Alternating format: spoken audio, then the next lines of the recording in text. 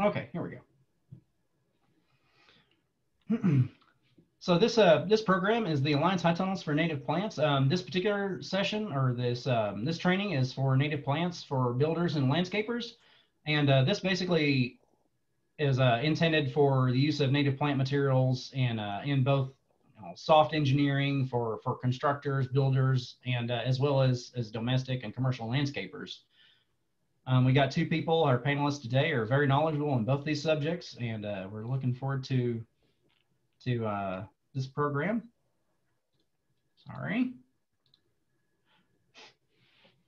All right, uh, some of our partners in this program are the NRCS, the Natural, uh, Natural Resources Conservation Service. They're the primary funders for this organization through the uh, Conservation Innovation Grant. And uh, one of our primary partners is Beaver Water District. They are one of the uh, larger water utility providers here in Northwest Arkansas, and one of the, which is uh, they draw their water from Beaver Lake, which is the drinking water source for uh, roughly half a million Arkansans. Um, we're also partnering on this program with the Ozark chapter of the Wild Ones, the Arkansas Master Naturalists, Missouri Wildflowers Nursery, and uh, Dripping Springs Garden, which is an organic commercial garden here in Northwest Arkansas.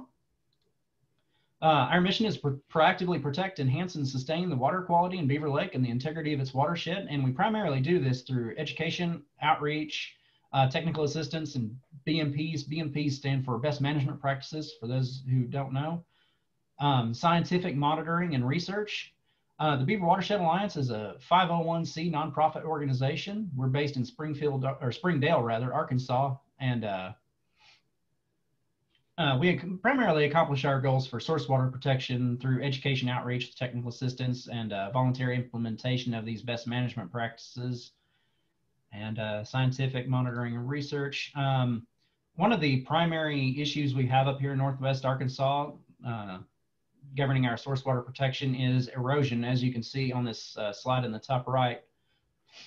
Um, this is a heavily incised bank, and uh, one of the issues we have is uh, we have high flash, very, very uh, volatile streams, uh, very mountainous terrain, and uh, these streams up here in northwest Arkansas can uh, go from a little trickle to, to a torrent in, in a very short amount of, of time.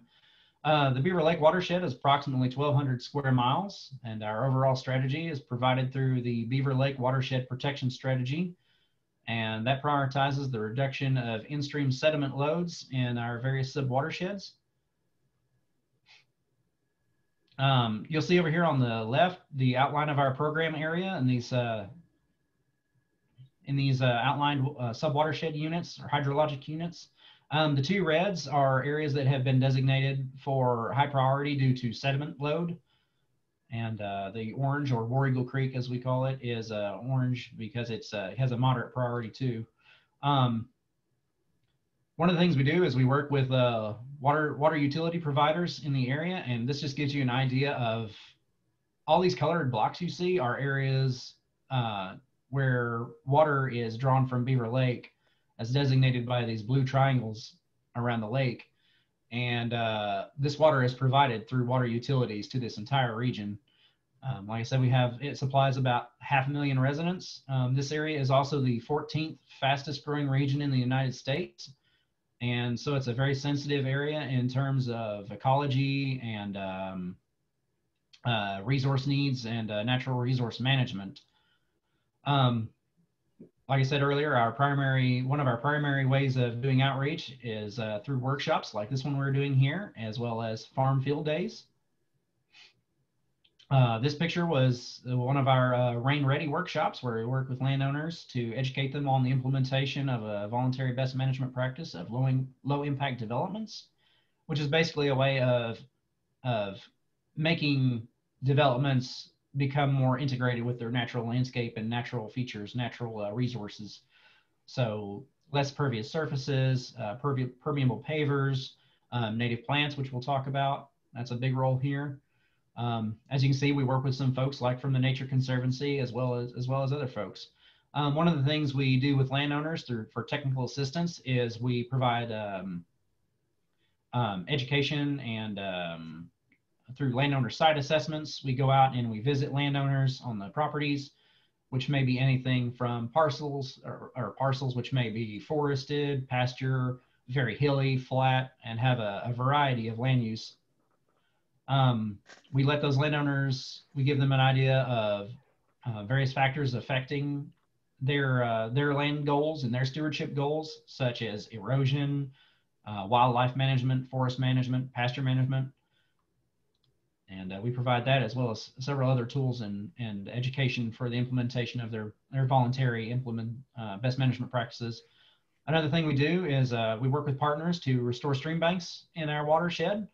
Um, many folks will recognize this as natural channel designs um, terracing of, of a stream establishing a, a uh, structure in a stream that's been hev heavily incised and eroded and uh, stabilizing it with native plant materials as well as terracing and, and uh, in-stream fe features like J-hooks and, and uh, things like that. Uh, we do scientific monitoring. Just for one example is we do erosion monitoring. Here is one of our uh, eroded streams. I think this one might be in the War Eagle and this is pretty common. We see uh, very flashy streams can rise up and absolutely destroy a, a, stream bank or a bank like that. Causes a lot of uh, erosion and decrease in water quality. Uh, we do science or we do scientific research as well. Uh, we have a, an ongoing uh, pond optimization project, which is basically a study to to estimate the potential stormwater reduction uh, by the hypothetical installation of stormwater catchment ponds at various points in the watershed, particularly on uh, first and uh, first order streams and, and lower. And uh, you know, you might be wondering, like, where do plants fit in with all this? We're talking about best management practices and things like this in a in a workshop that's tailored towards native plants and the propagation of them. Basically, every one of these things has has a role in which native plants and native plant materials can can have an impact, whether it be through landscape gardens like this buttonbush and this um, this butterfly that's on there, uh, voluntary um, tree plantings that we have throughout our watershed, seed collection events, um, pollinator plantings, riparian buffers, as well as low impact developments like we see down here in the bottom right. Um, we do this not just by ourselves, but with several key partners in the region. Um, some of these I'm sure y'all probably also have as partners as well. Uh, we are very, very thankful to our partners and we couldn't do anywhere near as much work uh, as we do without them. So we are very thankful to these, these folks for what everything they do with us. Um, that's just short presentation. I want to keep it short and simple and let my, my smarter folks, Lissa and Eric, talk about what they know. Um, my name again is Nate Weston. Uh, that's my number down below as well as my email contact. So if you have any questions, you can feel free to reach out to me. I'd be happy to uh, answer any questions or or delve any deeper into any of the content that I've covered in this.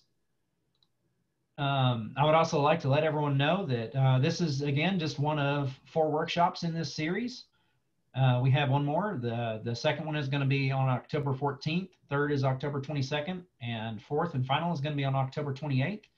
Um, every one of these workshops is tailored to a starting native plant producer. Basically, that's someone who may or may have a varying degree of knowledge in horticulture or native plants. They may have a, an excess or an abundance of knowledge in one or the other. And uh, we have uh, several participants in this program in our watershed who have received funds to construct a high tunnel and produce native plants through this program. We were very, very fortunate to have this opportunity. And we want to make sure they have every tool available at their disposal to make sure they're as successful as they possibly could be. And um, every one of these is tailored to a specific theme. Today's we're going to be talking about the native native plants for the builders and landscapers and propagation and licensing uh, economics and uh, of high tunnels, and as well as just the the operations of of running a high tunnel. So there's going to be quite a few different uh, variables and factors that go into this, and uh, you know they. Um, we're very excited to to be able to pr provide this opportunity. Again, this is part of a pilot program to encourage the uh, introduction of a scenario within the Conservation Innovation Grant, or rather within the National Resources Conservation Service High Tunnel Program of producing native plant materials through their very successful and very popular program. So I hope y'all enjoy this and uh, register for the other workshops. We're very excited for it. So um, with that, I'm going to go ahead and uh, unshare my screen and turn this over, or rather, I'm going to introduce my uh, my friend and colleague Eric. Um, so Eric Fuselier is a environmental project manager with Crafton Tull. Uh, he works with civil engineers and landscape architects to selectively plant uh, native plant materials suited for low impact development projects, um, Crafton Tull designs.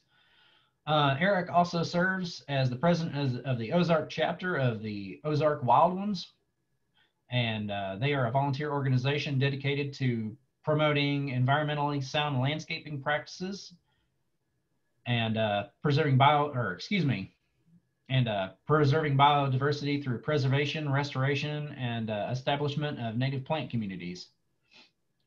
So with that, I'm going to go ahead and uh, turn my screen over to Eric.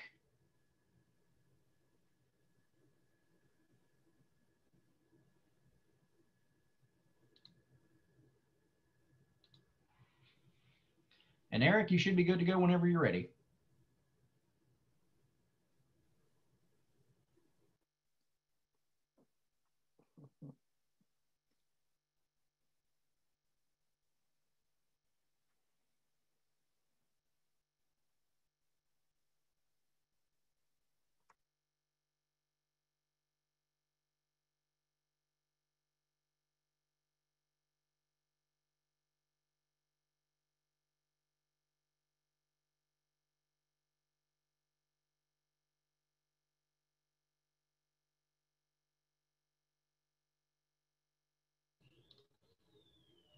Okay, Eric, you should be good to go now. That's my bad.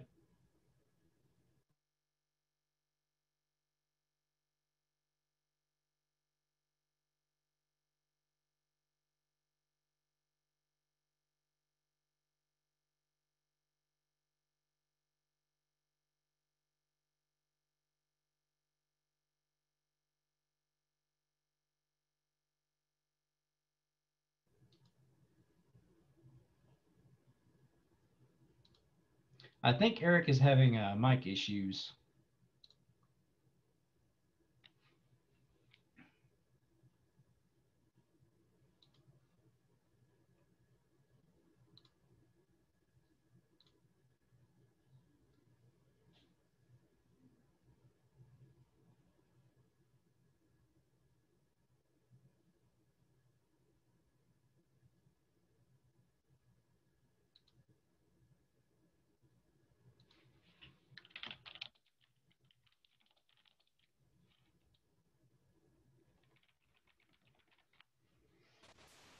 Okay, while uh, while we're working through the technical issue there, um, I would like to just let everyone know again there is a uh, there should be a poll at the bottom. Can you hear me now? Yeah, I can hear you. Okay, I just had to barely plug it, unplug it, and plug it back in. All right, we're rolling. okay, uh, Eric, real quick, um, I just want to let everyone know there should be a, a Q&A at the bottom of your screen. If you have any questions, feel free to enter those in the Q&A section. This is different than the chat section um, one of the quirks with Zoom is um, it doesn't track any questions or answers put through the Q and A or put through the the chat box rather.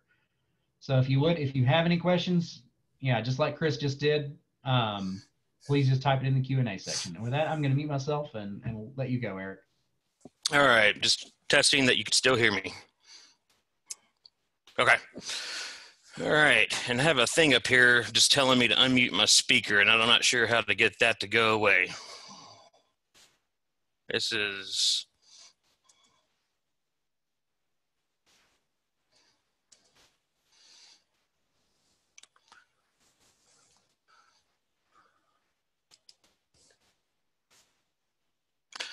All right, y'all can hear me now. Awesome. Okay, here we go. All right, got everything working.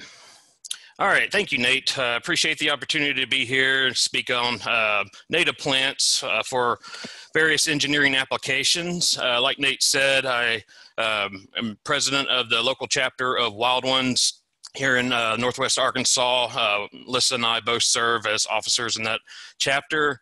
also work with Crafton Tull And uh, we've uh, worked with Beaver Watershed Alliance on designing some low impact development park and lot projects for them that included pervious pavers as well as uh, rain gardens and bioswales that include native plant species. So, uh, as part of this um, high tunnel program, Nate asked me to come talk about various species of native plants that would have some applications for engineers and contractors. Uh, this will be a little bit different from my past presentations where I've discussed how to figure out where on the landscape you can apply uh, a particular species. Uh, this presentation, I'll mostly just be going through various species that can be used for uh, specific applications. That way the growers can kind of get a list of things that they might want to grow for the high tunnel program. And I'll be discussing three main areas. Uh, one will be native plants that could be used for erosion control. Uh, the second for improving stormwater quality. And third for transportation and utility rights of way. So start off with some native plants that can be used for erosion control. So, why is erosion an issue? Well, soil, uh, believe it or not, is a non renewable natural resource. A reason we consider this non renewable is because it could take over 500 years to create an inch of topsoil and then 3,000 years to accumulate enough substances to make that soil fertile. So, if we erode away all of the soil, it will not be renewed within our lifetimes. So one of the ways that we can use native plants for erosion control is for ground cover to create uh, to plant some species that create good ground cover. Uh, this helps slow down any runoff, uh, reduces rill and sheet erosion, and reduces the dislodging of soil particles due to wind and impacts from precipitation. Some good examples of native species for ground cover, uh, wild ginger. I have this, uh, does really well in shady areas. I have it planted underneath my deck. Uh, it seems to grow really well there. Uh, produces really great ground cover and also has these really nice little brown flowers that are, are almost purple, uh, very close to the ground.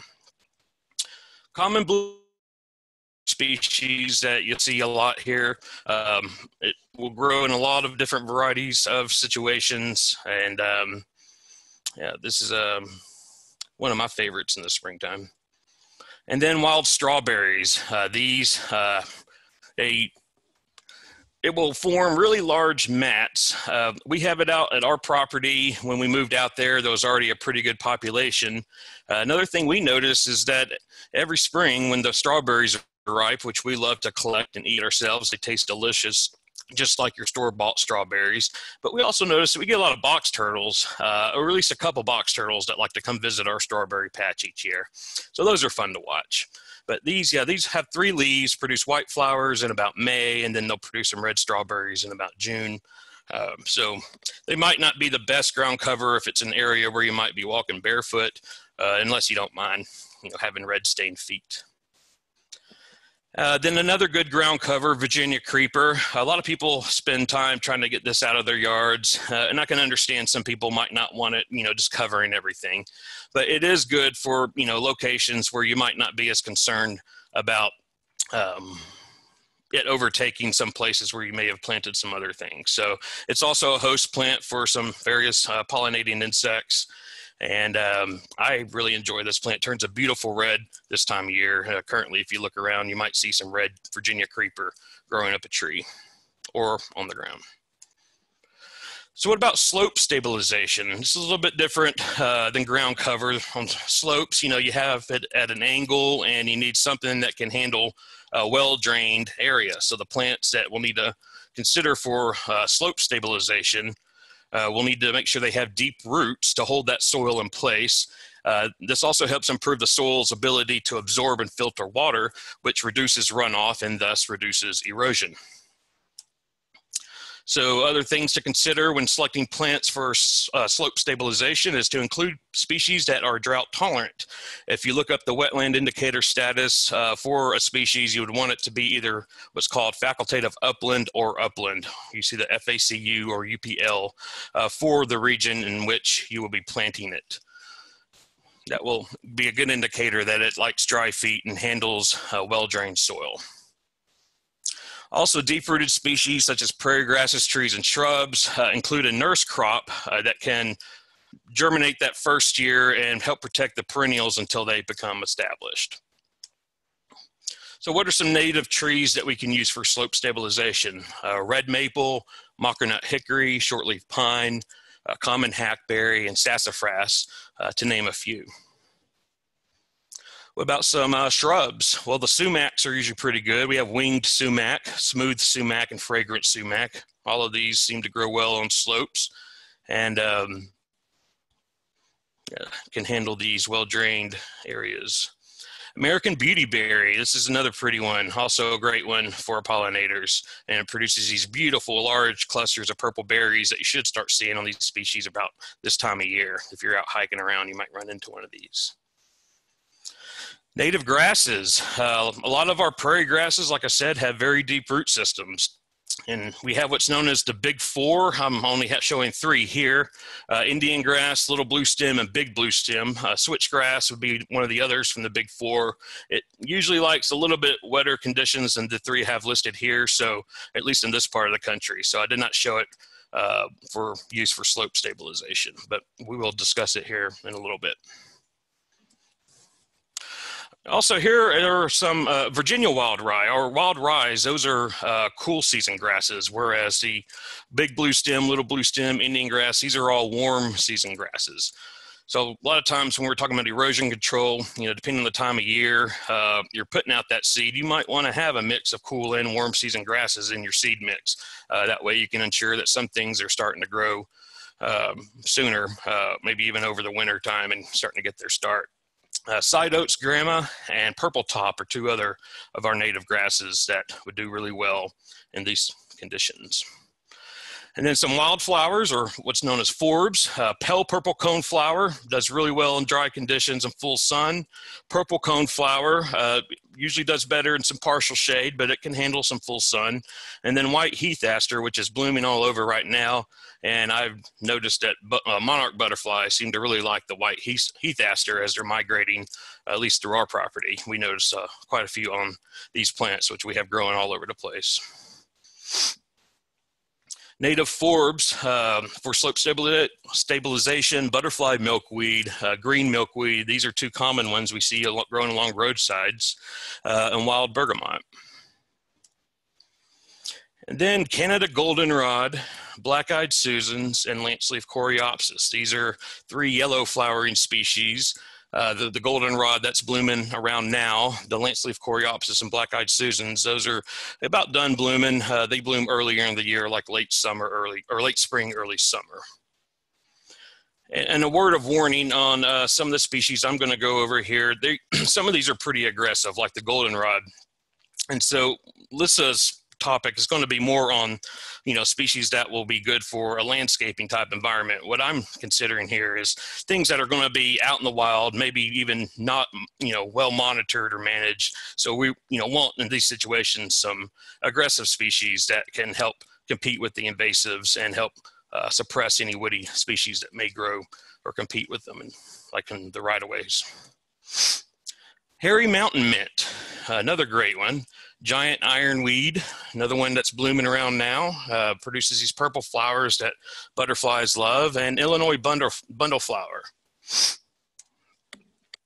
Some more yellow species, Maximilian sunflower, showy tick seed, which is blooming now, and partridge pea. Partridge pea is one of our native legumes, and it's also an annual.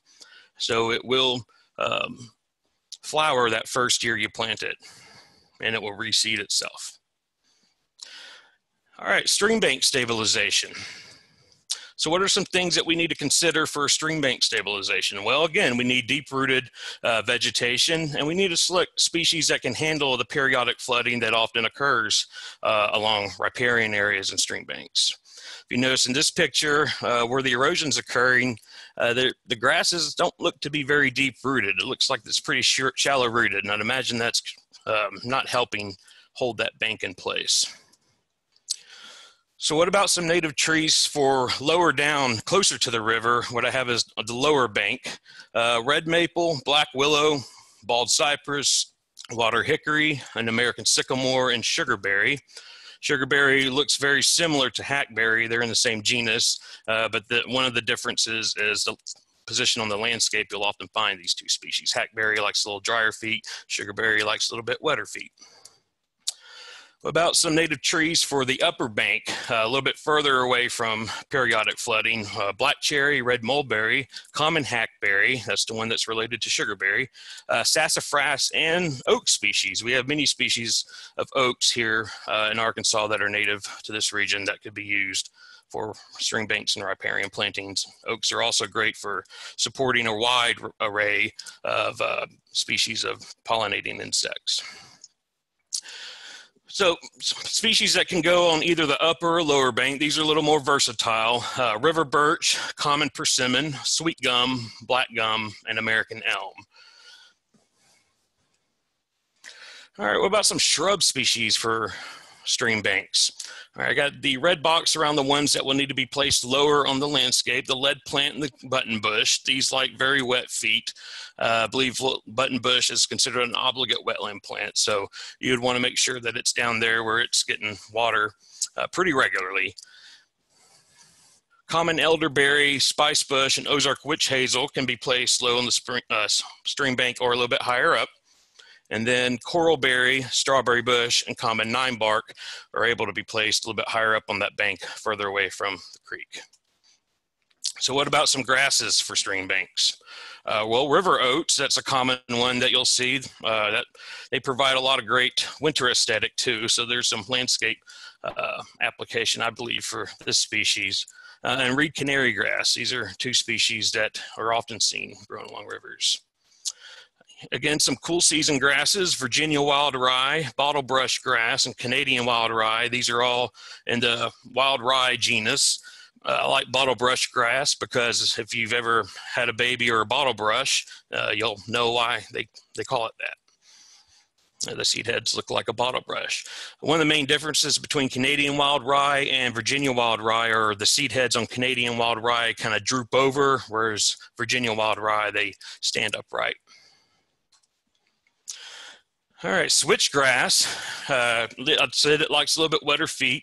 Uh, and eastern gamagrass. One great thing about switchgrass is it sucks up a lot of nutrients.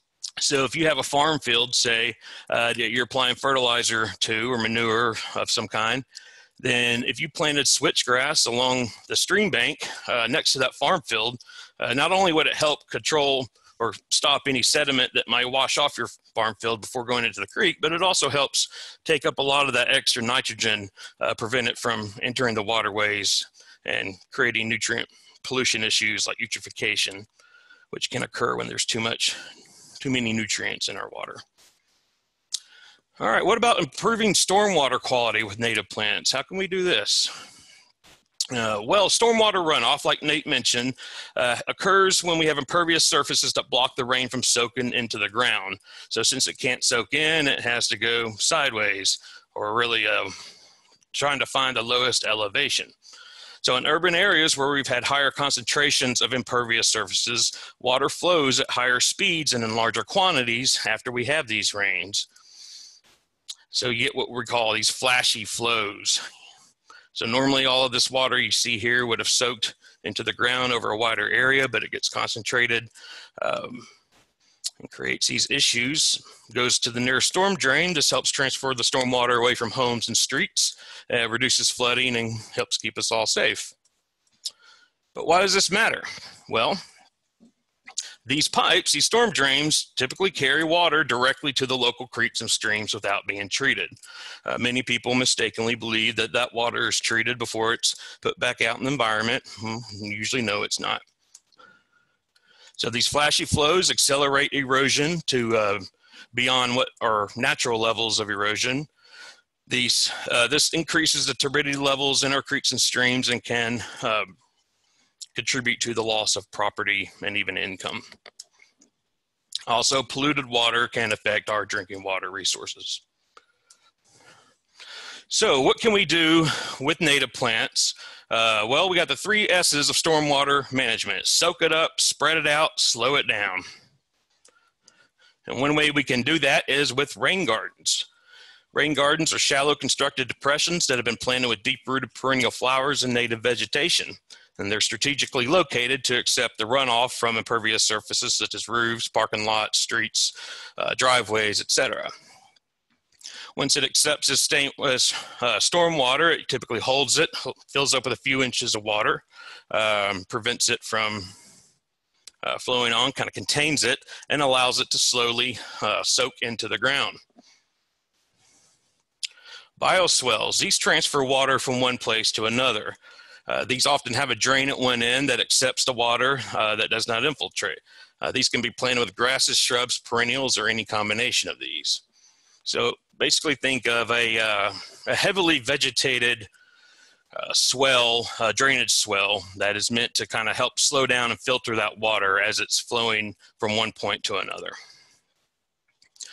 So with native plants, uh, we can use what's called phytoremediation or the use of plants to uh, clean up the environment. Plants are great at remediating low levels of petroleum contamination in soil, for instance. So it's often contained in the runoff from uh, parking lots, for instance, or roads. You're going to have a little bit of drippings of motor oil and other petroleum products, automobile fluids, and whatnot. Well, all plants have the ability to break down low levels, low to moderate levels of uh, petroleum contamination that soil. And the way they do this is by exuding substances from their roots in the root zone under the ground uh, that stimulates microbial activity. So all these microbes around the root zone of the plant start. There's going to be some species within that that can break down uh, the petroleum. If we think about petroleum as a hydrocarbon, it's carbon based, and there are some species of microorganisms that it serves as food for. Uh, so over time and stress, this is really can only be applied to low levels of petroleum contamination. But um, if you plant these species next to a parking lot, they will help break down the uh, any contamination that might occur in the soil. Now, the, one of the things that makes native species especially great at this is that their root systems are very fibrous. A lot of our native grasses, especially, have very fibrous root systems. You can see this picture, um, the root system there. So, what you have is a greater surface area associated with these root systems than you would say with say a taproot type system. And so with this greater surface area that's a greater volume of the soil where these microbes are active and helping break down these hydrocarbons uh, so that makes them better and more efficient at purifying the soil than plants that have um, thicker root systems that are less fibrous so, what are some native trees uh, that can help remediate petroleum contamination in soil? Uh, common hackberry, we see that one again, eastern redbud, black willow, willow oak, eastern cottonwood, and black locust. About some native grasses? Uh, here's some of our prairie grasses Indian grass, switchgrass, and big blue stem. Here's blue grama grass. Uh, this is another one that they've done studies on uh, with its ability to degrade petroleum prairie cordgrass, eastern gamagrass, which is a relative to the ancestor of corn. Interesting fact about that plant. Here's our bottlebrush grass, one of our wild rye. This is a cool season grass. Uh, tussock sedge. Here's one of our sedges. So maybe you have some wet, wetter soil that you're needing uh, remediated. Green bulrush. And soft rush, also known as common rush. This is one of the more common species of rushes that you'll see. And I do have a research for each of these species. If anyone is interested, um, feel free to get a hold of me and I'll be happy to send that research over to you. All right, what about native species of wildflowers or black-eyed Susans? New England aster. New England aster is one that's blooming now, so beautiful purple flower. And also great for pollinators. Butterfly milkweed and swamp milkweed. Now, butterfly milkweed, it does like drier feet. Swamp milkweed, it likes wetter feet, but both prefer full sun. Purple coneflower, prairie blazing star, and Ohio spiderwort. All beautiful species. And our two lobelias, cardinal flower and great blue lobelia. Both of these like some wet feet. Uh, you'll see these in bloom late summer as you're hiking or floating down creeks. And again, our American beautyberry. And she is a beauty. All right, so what about native plants for right, rights of ways? Like, so when we're considering right of ways, we need to think about short-term maintenance during startup. It does usually take three years to get everything established, but once it is established, it's pretty low maintenance and that's really what makes it ideal because it, we could spend a lot of time and money on trying to have crews going out and maintaining these. But if we can find something that is just low maintenance, uh, that can help save our public agencies and county road departments, municipalities some money. So we do need to think about the size of the plant at maturity. Uh, we don't want to create any issues with sight distance. Uh, and we also need to leave spaces for motorists to pull over uh, in the event of an accident or uh, emergency of some kind. So some roadside uh, plants um, for roadsides and medians, uh, Virginia wild rye, bottlebrush grass, and Canadian wild rye. Indian grass, again switchgrass and big blue stem. These are three of our big four grasses. Plains coreopsis, uh, lance leaf coreopsis, and black-eyed Susans. Uh, the plains coreopsis and lance leaf coreopsis, they both bloom early summer along with the black-eyed Susans. Yarrow and hairy mountain mint. Again, butterfly milkweed and green milkweed, common roadside plants. And then above ground utilities. We don't want to have woody species in these. We spend a lot of, or the utility companies uh, spend, some, you know, quite a bit of money and funds trying to suppress the woody species growing underneath power lines. Uh, so we want to use aggressive native species that can keep the invasives at bay and also uh, suppress these woody species. Also, drought tolerant species that like either full or partial sun. Uh, for wide right of ways, you might have uh, you'll probably have uh, plants towards the center that would prefer full sun, uh, but closer to the edge, they're going to need a little bit of that partial. They're going to need to be able to handle some partial shade. So what about some native grass species for above ground utilities? Uh, Indian grass, again, purple top. This is one that just finished um, going to seed. Uh, I really like purple top. Produces these purple seed heads. Uh, and also another name for it is grease grass because if you run your hands along the sweet, uh, seed head, it produces a little greasiness on your hands. Uh, and big blue stem. Virginia wild rye, switchgrass, and Canadian wild rye. Hairy mountain mint, white heath aster, and Illinois bundle flower. And again, we got some aggressive goldenrods in here, Canada goldenrod and lake goldenrod, uh, and giant ironweed. Maximilian sunflower, showy tick seed, which, like I said before, is blooming now, and partridge pea, one of our annual legumes. Again, black-eyed Susan and lanceleaf coreopsis. All right, so what about underground utilities? Well, again, we don't want woody species. We need to think about root depth. Uh, we don't, you know, if you have a pipeline or something, they typically don't want the roots growing into that. Uh, we need to, again, use aggressive natives that can compete with the invasives and suppress woody species. And we also want species that are drought tolerant, that like full or partial sun. So again, Indian grass, little blue stem, big blue stem. I pulled these species from a seed mix I found uh, for pipeline right-of-ways. So my understanding is these do have deep root systems, but um, my guess is that the roots aren't a threat to pipelines. I'm not certain about that. I will be totally honest with you there. Uh, Virginia wild rye, switchgrass, and purple top. Canada goldenrod, white heath aster, and lake goldenrod.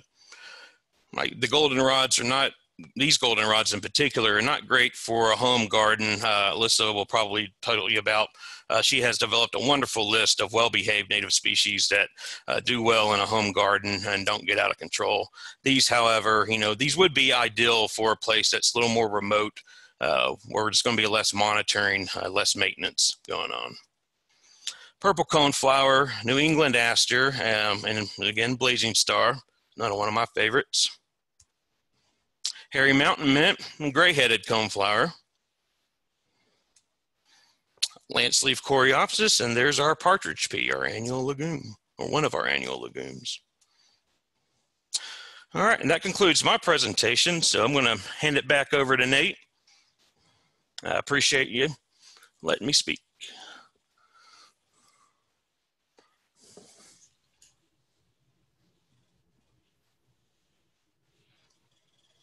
Well, thanks, Eric. That was a very informative presentation. Um, there were some questions that came up in the Q&A. Uh, some folks were wondering if these presentations would be made available in a PDF form or anything like that. Um, we don't have any intention of making them available in a hard copy like that or in a PDF form, but um, if you are a registrant and you are watching this presentation right now through Zoom, uh, and you have that registration link, you can still access the program and the uh, presentations by Zoom. And uh, within within a, a, five five business days or something like that, we should have this uploaded to our uh, our YouTube page with the Beaver Watershed Alliance, and uh, you can watch it there as well and uh, see see all the presentations. I'm also happy to share my slides if anyone wants to reach out or if you want to send them out, I can make them available too.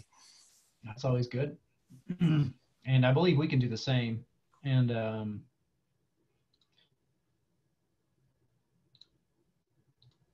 all right, uh, I'm going to stay here. Um, we were intending on taking a 10 minute break at about 250. So I'm just gonna stay here and uh, manage the Q&A section. Uh, does anyone have any questions for Eric or potentially Lissa or myself? Some of the some of the and, and words that were mentioned may not be clear to everyone, like what is what is a naturalizing species or you know what makes what makes a plant well behaved, which is something Lissa will talk about later. You know, sometimes sometimes one species may be good in one location because it it's it stays in one spot and sometimes it may be good in a in another location because it spreads aggressively so uh, who has recommendations for home gardens was asked by by grace um, i would say alyssa's probably got some great recommendations for that especially based on um, specific types of home, gar- home gardens uh, typically, if you see a plant that's listed as uh, having a tendency to naturalize, it means it's a fairly hardy and robust and uh, competitive plant. And um, that has that has mixed uses. Uh, some locations you you may want that, like if it's um, if it's out in a prairie restoration site and it's a native species that's prone to being somewhat aggressive, like common milkweed or a lot of mountain mints. Um, those can hold their own pretty well against many many uh, other invasive exotics. Um, other species may tend to not be, you know, like spring spring ephemerals, things like that, tend to not spread that much and be considered uh, naturalizing or or colonizers. excuse me, or aggressive.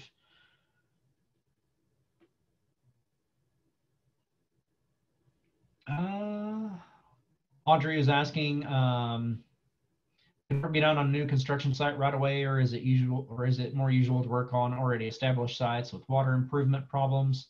And if so, who would be one to reach out to start a project? Um,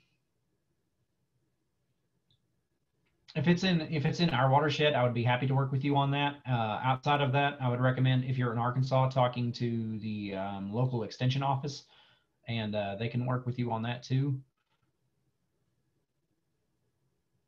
Um, for wells and well pumps, supplying water over 100 feet deep, um, most tree roots don't usually go that deep. I, I can't think of a species off the top of my head that is that, that aggressive that with, with roots that run that deep.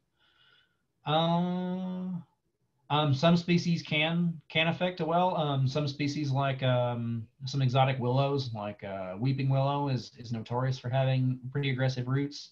Uh, silver maple is the same. It's a native species, but it has fairly shallow and aggressive roots, uh, as well as others. Um, there again, these are these are great species, but sometimes they may or may not work uh, well in in that particular location. um, Gwen is asking if there's a chart listing species with check marks for characteristics such as wet feet, aggressive, and etc. Um, that is something that we've considered. Oh, Lissa's shaking her head, nodding. So yes. So she's worked on that.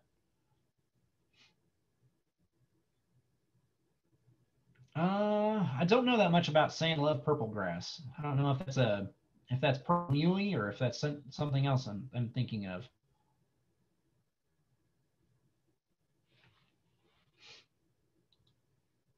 And uh, okay, it's 1249. Um, we had intended to take a, a 10 minute break. Um, so if everyone wants to, just go ahead and get up, stretch your legs. Um, I'm going to stay here. And uh, some folks have the have entered questions into the Q&A. I'll, I'll respond to those as much as I can and uh, engage folks on here. Um, we did intend to be back at about in about 10 minutes at three o'clock. So again, just get up, stretch your legs. Don't work on deep deep vein thrombosis or anything like that. Because getting up, moving around is good for you. Uh, there again. So um, if you have any questions, feel free to enter those in the chat window. Uh, uh, so for folks who live in our watershed, um, we do have this grant program that is available. Uh, we do st still have some applications open to receive uh, up to $4,000 for a high tunnel, but uh, again, it is only available to landowners in the Beaver Lake watershed. Um, if you think you might live in the watershed and you might be eligible for that, you can feel free to reach me at my contact information, nate at beaverwatershedalliance.org. Um, I'd be happy to work with you on on that, uh, doing an application or or any land questions you might have or or potential best management practices you may be looking to implement, or even if you just want recommendations, or if you just want to ask me what this plant is, I'd be happy to to work on that as well with you. Um, we uh, we do have seeds available for the awardees of this program. We are working with them to supply the native plant materials necessary to get them off the ground and get them to producing and make sure their their business model is is successful as much as we can. Where we have um, kind of a hands-off approach with with the awardees of this program, many of whom are, are participating today, and uh, we're doing our best to just facilitate their success. Um, I, there are many vendors out there. Um, one of whom is I would highly recommend Missouri Wildflower Farms is going to be on here uh, one of the later presentations, um, Mervin Wallace is an expert uh, in the subject. He's got over 35 years of experience cultivating and propagating native plant materials in, in a series of high tunnels and greenhouses he has up in uh, southeast Missouri, I believe. Um, others that, that we often recommend are ones like um, Roundstone Native Seed Company in Kentucky, and uh, some locals here in Arkansas are um, uh, White River Nursery in Elkins, and uh, Pine Ridge Gardens in London, Arkansas. And I'm sure you know some the, for some of the folks who are not from Arkansas, then uh, I'm sure there's there's some in your states too. Um, many states have a native plant society, so if you just search your state with native plant society, you'll probably you'll probably find in a group as well as uh, some recommendations. Um, Arkansas is blessed. We have a, a, state chapter, Arkansas Native Plant Society, as well as a subchapter up here in the Ozarks uh, with the Ozark chapter of the Arkansas Native Plant Society. So you can get a lot of good resources, recommendations, and information from them.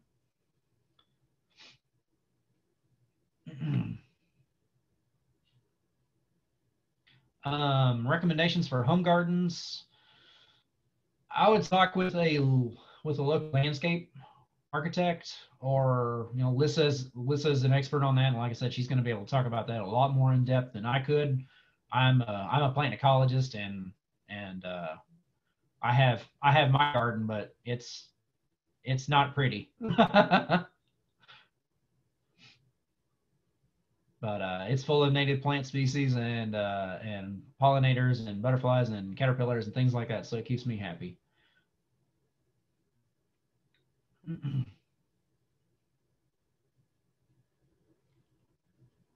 All right.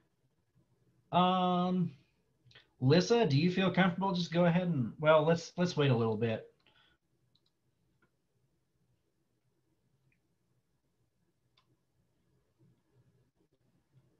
So let me let me just ask in the Q and A, um, or in the chat rather, what are some some interests some of some of y'all would have in uh, in a, in high tunnel program? What, what kind of goals would you see for that?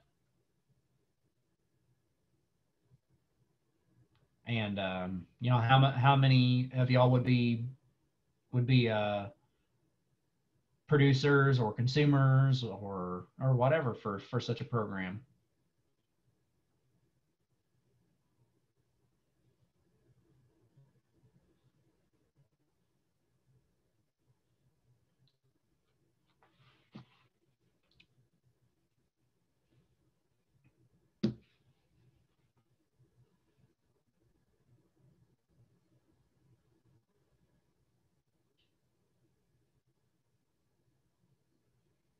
Okay, and uh, Chris was saying in the chat, um, he, he was under the impression his application was complete on time. Uh, Chris, I do have your application. Um, we have two rounds of awardees that we are going through. Uh, we have completed the first round of awardees, and we're helping them get through get through this program for this fall and uh, and winter.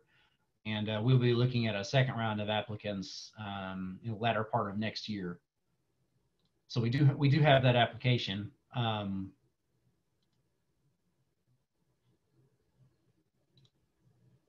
It looks like you were successful in registering for the webinar.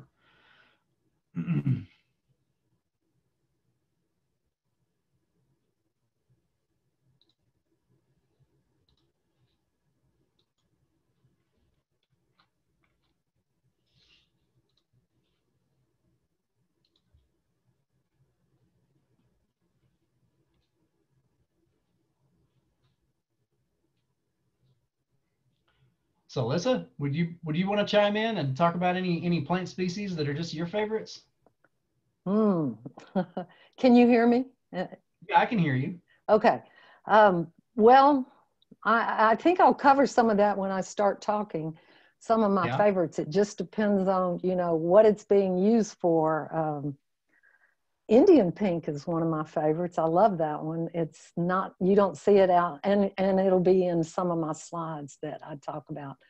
Let's see. Um, at the end of my whole presentation, I have what I call a wish list, and I'm going to direct it to the growers because it's the the some of the plants that I I know would work well for landscaping, and they're hard to find or too small. so I'll cover some of that. And when we, when uh, everybody is ready to join us and we get going again. I think we could get started. Well, are we a little, let's see, my computer says we got four more minutes till it's through. Yeah. Yeah, I didn't realize how long 10 minutes was until I had to sit through it. So do you do you propagate any plants? Do I? Yeah. Not anymore. I used to. That's what I did for years and years. It wasn't natives back when I was uh-huh. propagating. Uh-huh. Um, uh, but I have some background in propagating plants. We had a wholesale plant nursery, and then we had a uh, retail store. The White River Nursery was the store that we started. And um, oh, it was uh, almost 20 years ago. So um, I do have, that's one of the things that I was going to talk about, that my background is in nursery and landscaping business. And, uh, but ever since, um, oh, for almost 20 years, I've been interested in, in just prop, not propagating, but uh, promoting native plants and landscaping with native plants. And now that I'm retired, that's all I talk about, nothing else. I had the opportunity to go to Alyssa's house not long ago and see her beautiful landscaping uh, that she's done out there. Uh, it's really impressive. I think my favorite part is her her moth. Or, I'm sorry, her moss pathways. She has a little extensive network of moss paths out here. Yes, I do.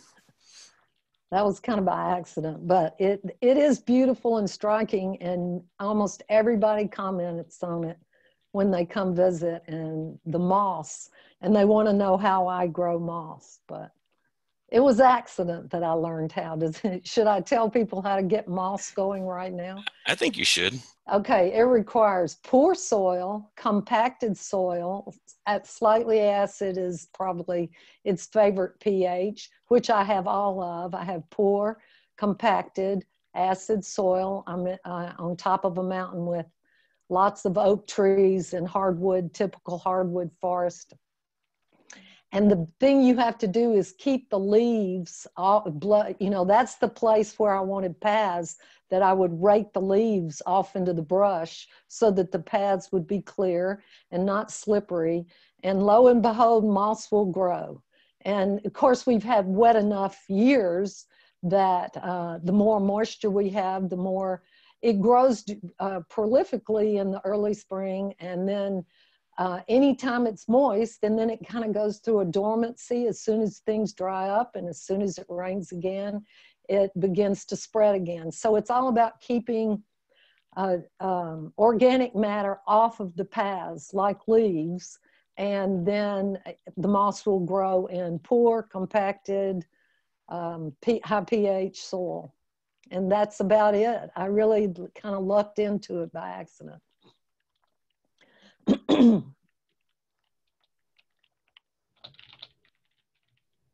You answering questions to people, Nate? Yeah. Uh, pokeweed is a chop and drop mulch. I've never heard of that before. What? Buck. Uh, pokeweed as a chop and drop mulch. Interesting. I've never heard of that. okay. It seems like it would go to seed and you'd have a pokeweed patch. let me let me answer a question real quick, and uh, we'll go ahead and get started again. Okay.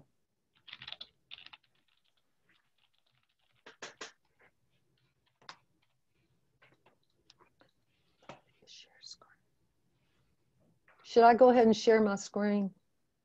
Not yet. Uh, not yet. Um, okay. We do have uh, everyone, there should be a poll available in the bottom two um, during the presentation. Just feel free to to access that and uh, and uh, provide any answers. Um, folks should be getting back from from the break right now. Um, Lissa, I'm just going to go ahead and introduce you, and after I'm done, uh, you can go ahead and uh, share your screen. And uh,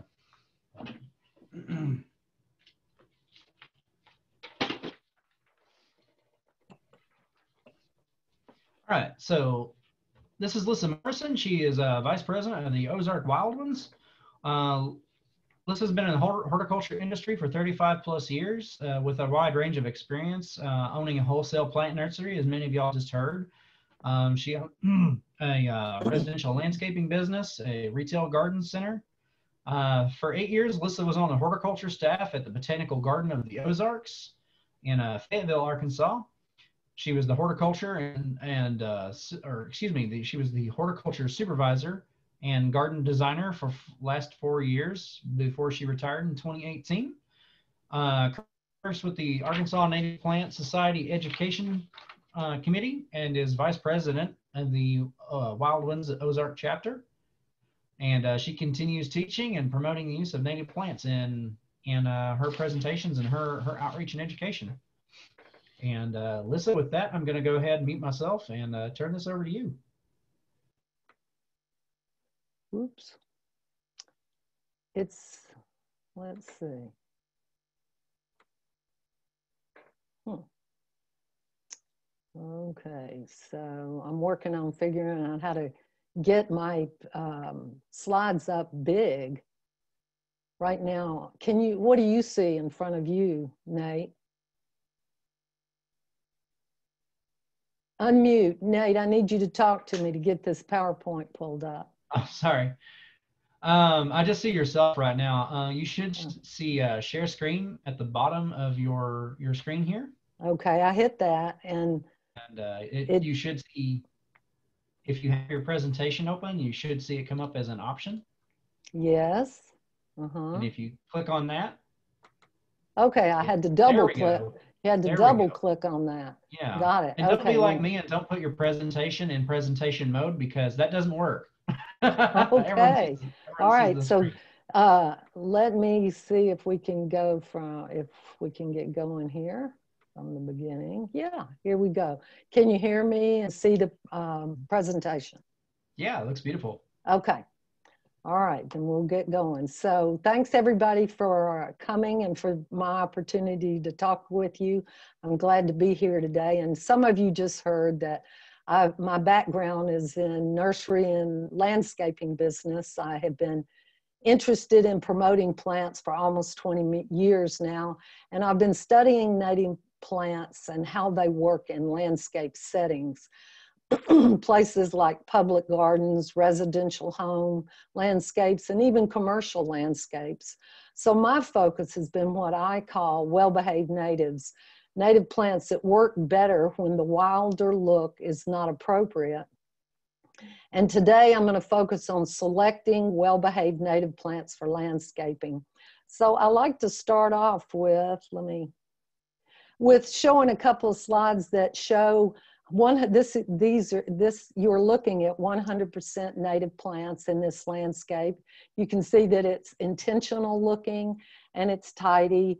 Uh, this is what I like to promote and encourage people to uh, figure out how to landscape with native plants. This is another shot, and both of those were at the Botanical Garden of the Ozarks. Everybody wants to know what this one is. Let me see if I can get my arrow working. There you go. That's white Baptisia. It's quite striking. Um, another nice looking, tidy looking landscape, very intentional looking.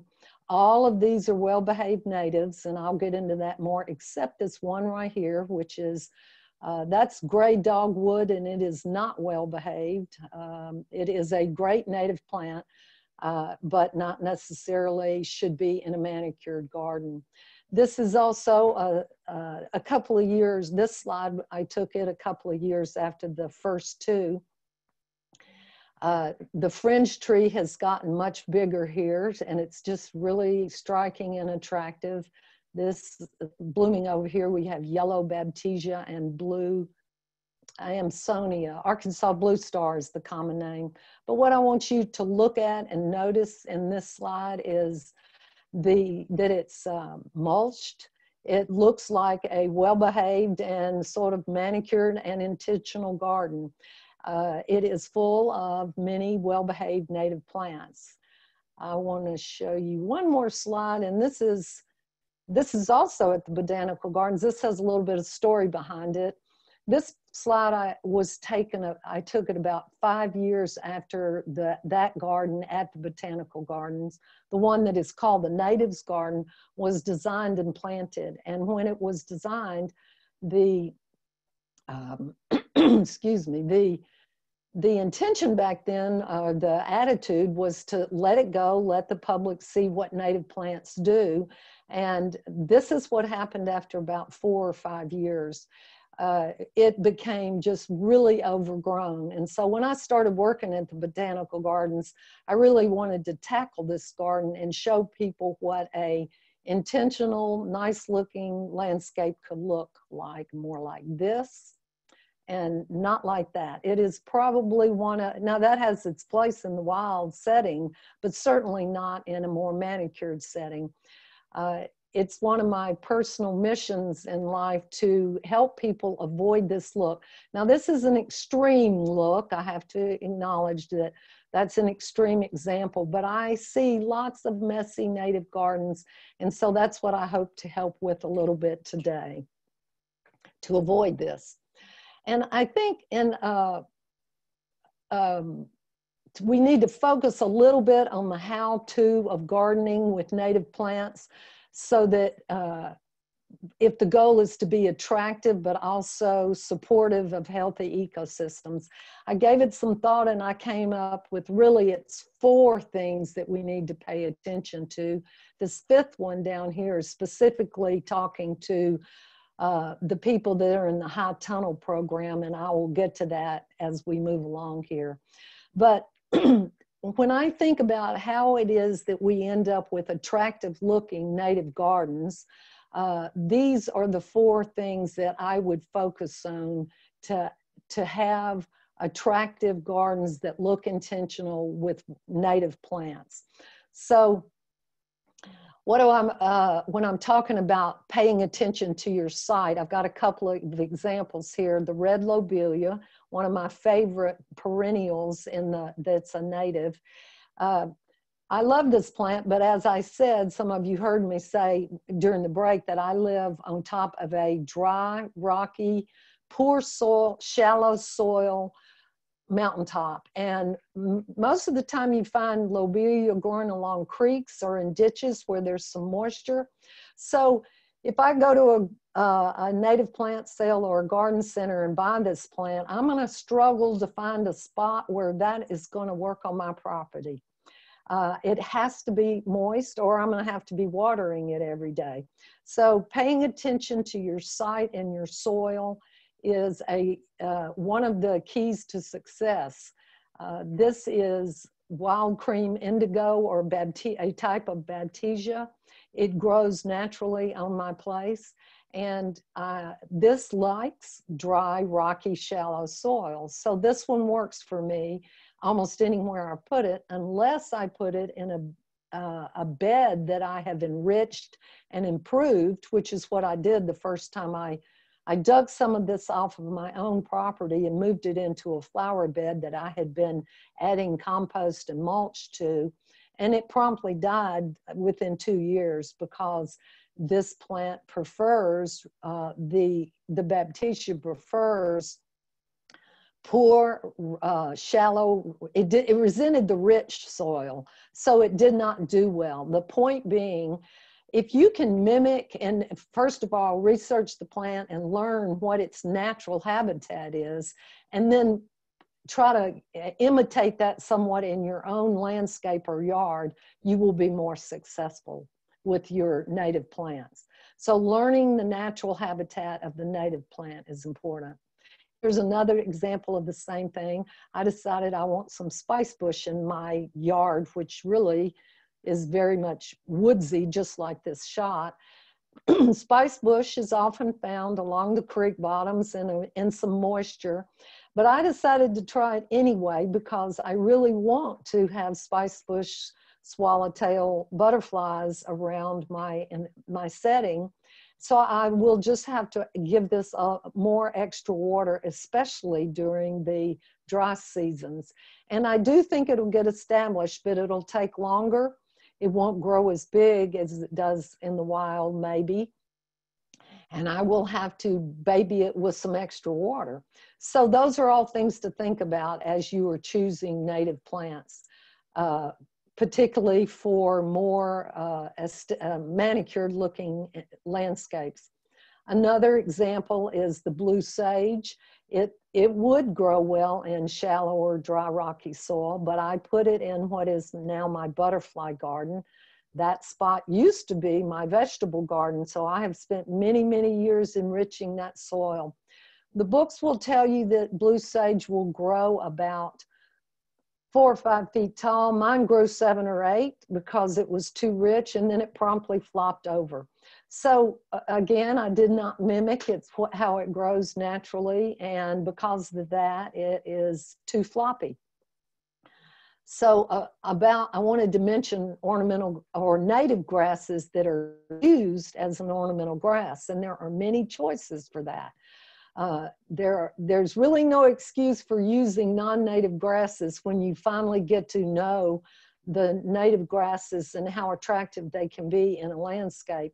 But if the if you are reading and researching about this plant and it says full sun to part sun, I recommend full sun because it, as soon as you put the grasses that the prairie grasses in particular that prefer full sun and you don't give it full sun then it will be floppy and a, a floppy grass in an ornamental setting is not very attractive so um, pay attention to the, and there are some grasses that grow in shade, uh, but you need to pay attention to those conditions.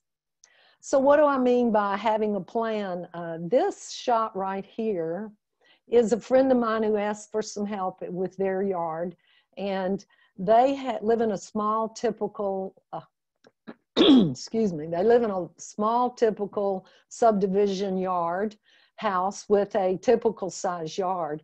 And all around their house, they had the typical foundation plants. And they said, decided that what they wanted to do was tackle one bed at a time, take out all the non natives, and replace it with native plants. I thought this was an excellent way to go about this in their yard. It's it and not make mistakes, not waste money, not plant something and then realize that it's in the wrong place. Uh, native plants, some of them that do not have tap roots, deep tap roots, you can transplant them. But if once, if it does have a deep tap root, then you're going to have trouble, or you probably will kill it if you try to transplant it. So knowing where you're headed with your plant, this is one of the things I see is that people uh, have gotten more and more excited about native plants and using them in landscaping. And I am very excited about that. I've been talking about native plants, as I said, for almost 20 years. And 20 years ago, I couldn't get anyone to talk to me. And I have just seen a sea change of interest in the last five to 10 years with people, and in the last five years in particular, people wanting to literally landscape their yards with native plants but they don't really know how to go about it. And, and so they end up making a lot of mistakes. Having a plan, thinking about it, and researching it will make a big difference. this is the one that I think trips people up the most, and I uh, and it is it's unfortunate that even though native plants have been around for hundreds of years, uh, we don't know these plants. Uh, like, unfortunately, we have been landscaping our yards and our manicured settings with imported plants for more than a couple of hundred years. Ever since we came across the big ocean, we have been bringing plants with uh, humans brought plants across the ocean and, and used them to beautify our spaces. And we, so this is a new thing for us to start using native plants to beautify our homes and our businesses and our landscapes. So here's an example of what I mean. Both of these are blazing star. Blazing star is an excellent pollinator plant. This one is one of the this is the prairie blazing, blazing star on your left, and it is one of the taller uh, Liatris out there. And I think this is excellent looking at the botanical gardens, but you really have to plan for something to be that big and that sprawling in a native, in a manic, in a designed garden. This one here is only two, about two feet tall, and you can see it has a much more tidy look. Now, of course, you can design this in if you know what you're doing, but if you put that in a flower bed and you're not expecting this, then you're probably going to be disappointed. So, researching plants is the key to being successful with using native plants and landscapes. Um, some of these were mentioned by Eric. The purple top grass was one that was mentioned. These are some uh, herbaceous perennials mostly, except for this grass. And most of these reseed rampantly. There is a much longer list of reseeding um, native plants.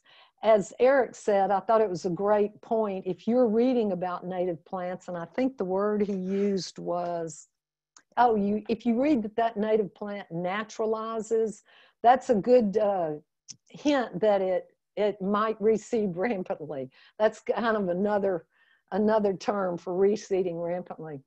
A, a, good example of making an educated choice about the species that you're picking, this is bee, a type of bee balm or Monarda. This particular one is uh, Monarda fistulosa and the common name is wild bergamot.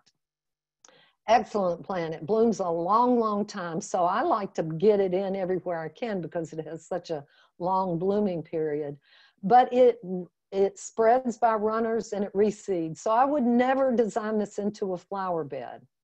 Um, the one I would choose that is a little more well behaved is called uh, Bradburiana. And I, I may be mispronouncing some of these names. Um, sorry about that if I do. I'm trying to not do that, but you know, it's an ongoing uh, task to get the pronunciations right. Another example of choosing the right species, that is, this is a milkweed. This is the one called common milkweed or Asclepias syriaca. Excellent plant for the monarch butterfly because it has lots um, it has lots of big leaves. It grows fast and tall every single year. it spreads rampantly, it takes over. So that's a good reason to plant it if you have the space, the openness, a great big backyard. That's a good reason to use that one. But in a smaller landscape or subdivision, this plant would not, it, it would not be what I call well behaved. So uh, knowing whether that is the case or not, and we'll get to a long list and um, make access to which plants are well behaved before I finish talking. I always like to mention goldenrod because I think goldenrod needs to be in every single yard in America. If we could re-landscape America, this would be my top number one choice for a perennial to get in all spaces. But uh, there are about 27 different or so, maybe it's, I've heard different numbers, 25, 26, 27 different species of goldenrod that are native in our, to the Ozarks or to our region. And I only know of four. I used to say three, but I discovered another one that I think is well behaved enough to use in a designed intentional landscape.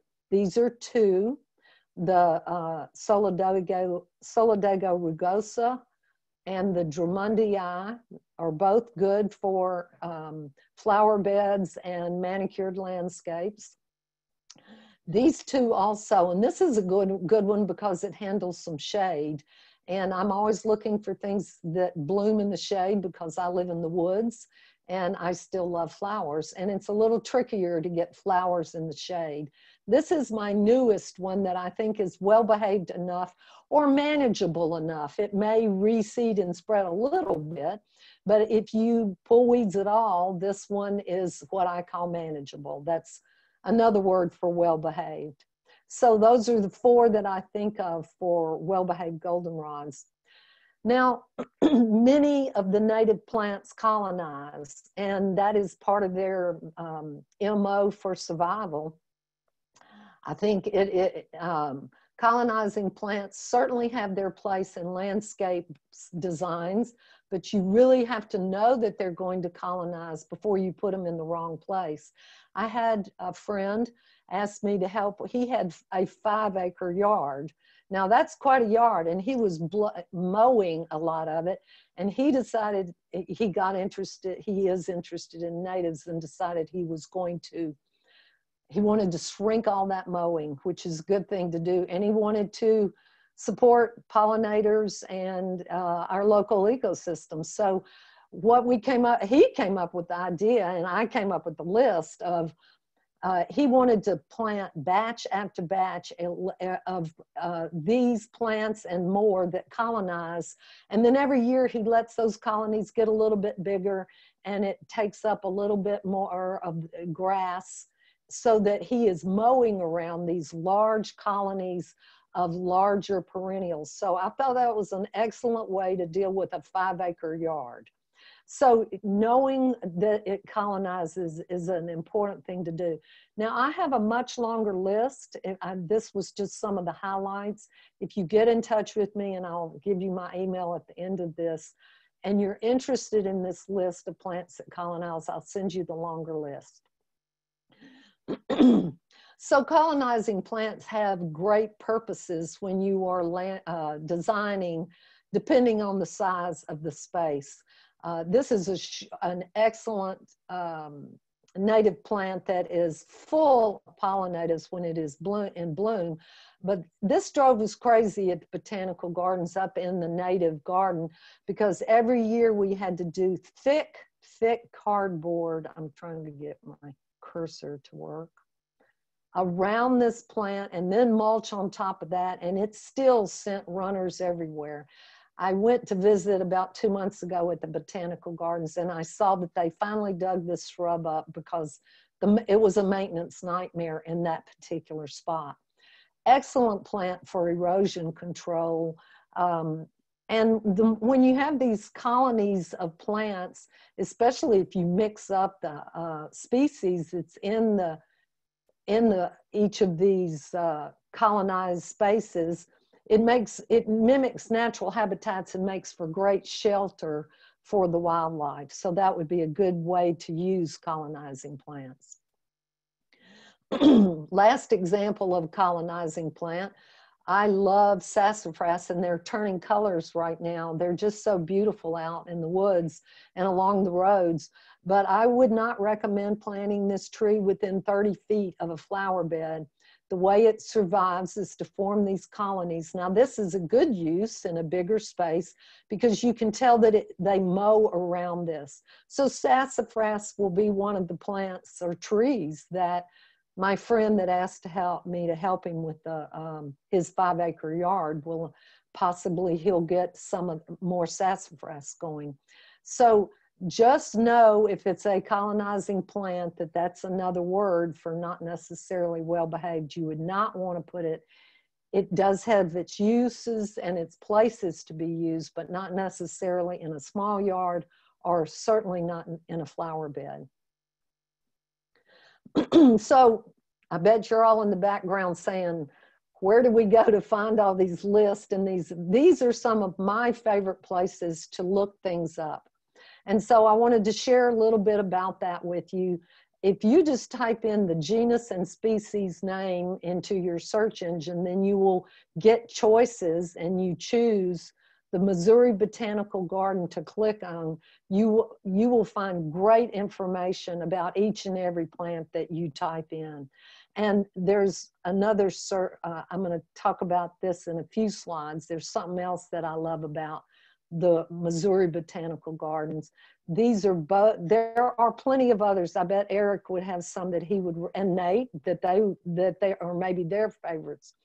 I encourage you to actually treat these three like they are a book almost and sit down and just peruse these garden, I mean, these websites, and you will be so impressed with the uh, the uh, options of things that you can learn and the things you can click on to research your plants in all of those.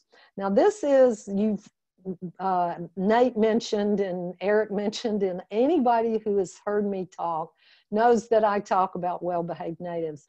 I've been working on this list that I call well-behaved natives for years. I constantly uh, edit the list and update it but this is where you can go to find that list at the Botanical Garden of the Ozarks website. And you have to click on the Learn tab, native plant info, and then the word, it says handout well-behaved natives. It's in a PDF form if you want to print it out. It's about 10 pages long. And the last page is a page of nothing but websites and places to order seeds and plants, etc. I also, so that's where you can find any of the plants that I mentioned that are called well-behaved natives. And I edit it constantly. So I want to, uh, I would suggest that if you print it out or use it as a resource, uh, once a year in the beginning of every year, I will update it on the Botanical Garden of the Ozarks website. Or if you want the latest version, you can email me and I'll send it to you. I, this is where I go when I am not sure if a plant is native or not. And I'm still learning about all of these things. I research constantly. I think it's fun. This stands for Biota of North America Program. And this is a plant atlas. I want to, I think that's, no, this next up is for us to talk about the Missouri Botanical Garden. If you type this, this phrase into your search engine, then this is what will come up. Let's say you want, I encourage you to click on Missouri natives because they will give you non-natives if you don't click on natives. And say we wanted a shade tree for my shallow, dry, rocky soil. And they will give me a list of options. Not every single, they miss a few, but they give a good list. So if you have, if you want to design a, uh, plan a rain garden, then uh, just click on rain garden and they'll give you lots of choices. But you want a, uh, let's say you want, um, let's see, you know, you can click on the different things and then pull up, just play with it. It's lots of fun and it gives you, I really trust the Missouri Botanical Garden. They have been doing research for years. They have money to pay researchers, so they have done an excellent job of having accurate information.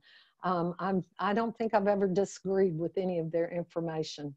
Uh, I really like what they, and here's one that some will be interested in, deer tolerant plants. So if you want a rain garden that's deer tolerant, click on that and see what comes up. It's a great uh, resource to, and fun to use.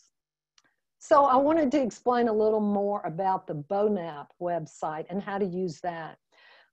so if, if you go to your search engine and type in hydrangea BONAP, in other words, the genus name and then just the word BONAP. Don't type in the species. This is, this is the genus and that's the species. So just type in the genus name and what you will find is some choices. You will want to click on the choice that has this word county in it and genus and then county in it. And once you click on that, several maps will pop up and it will show you every single plant in the United States and every county. And there is just so much you can learn from look, understanding this map. Get to get familiar with the color key so what we learn here is that the range in which I, I, I was uh, Googling uh, hydrangea quercifolia, which is oak leaf hydrangea. The range that it will grow in is the dark green, but where you find it naturally growing as a native plant is the bright green. So what you learn here is that it's not truly native to Northwest Arkansas. You're not gonna find oak leaf hydrangea out in the woods. So there's a lot you can learn from using this map. Uh, one more slide that shows this map.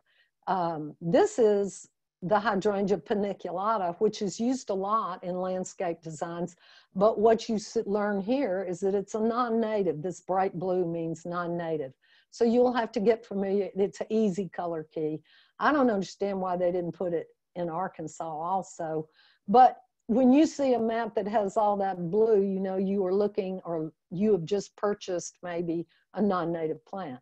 So I encourage people to research, research, research before you go buy native plants and you will be much more successful and happy and have a much better outcome with what you end up with. so maintenance is a big issue and understanding maintenance is a, a big thing to do well, understand before you go purchase plants. Here is a small example. This is a rain garden.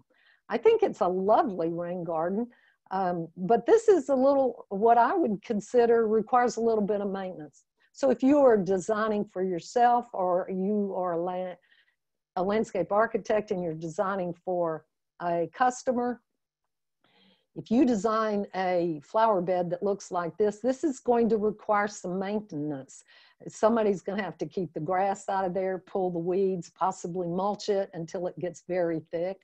Uh, these are going to turn brown. So just know that um, perennial pollinator beds are not maintenance free. If you want a maintenance free rain garden, I would suggest that you lean toward native trees and shrubs. They are, uh, you could plant an entire rain garden. It wouldn't be as interesting, but it could be nothing but say buttonbush, which is a wonderful rain garden plant. Uh, so right you do not have to always do the pollinator plants. We do encourage pollinator plants but there are some wonderful trees that are particularly early in the season when a lot of these herbaceous perennials have not uh, are not blooming yet. There are many early blooming trees and shrubs that will support the pollinators early in the season and native trees and shrubs are going to be less maintenance than herbaceous perennial beds. so I am going to talk a little bit about maintenance because it is such a big issue for uh, people who are growing native plants and people are always talking to me about it. So this is in reference to spring blooming native perennials only. Once they bloom, almost all perennials will turn brown like this. So do you need to leave this? There are reasons to leave it, and I'll talk about that in a minute, but you do not have to leave it. If it's in your backyard and nobody sees it, no big deal. You can leave it. But if it bothers you, if it's at your front entrance or if it's at the entrance to a commercial building, having this look a, at the entrance of almost any space would not be acceptable for most people. If there's a lot of this in your yard, your neighbors may not like this. Now, this is an issue that gets talked about quite a bit. What I want to say is, yes, you may cut this off, and there are some options of things to do with these dried seed heads and reasons to leave, which I'm going to talk about in a minute. But I also want to point out that some of these perennials, if you cut them down to the basal leaves once they bloom, after they're ratty looking like this, and you cut them back to the basal leaves, there are a handful that will rebloom, and purple coneflower is one of those that will rebloom. Here are two more that will rebloom. The common yarrow gets looks fried after excuse me, let me get some liquid.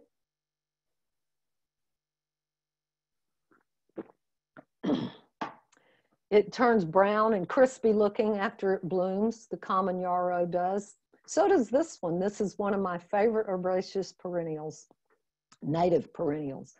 Uh, no book will tell you that you should cut this off, but this was at the botanical gardens and in public garden is a good example of a space where it's not acceptable to have dried up, dead, messy looking perennials everywhere. So we cut it back out of necessity and lo and behold, it bloomed again in fall.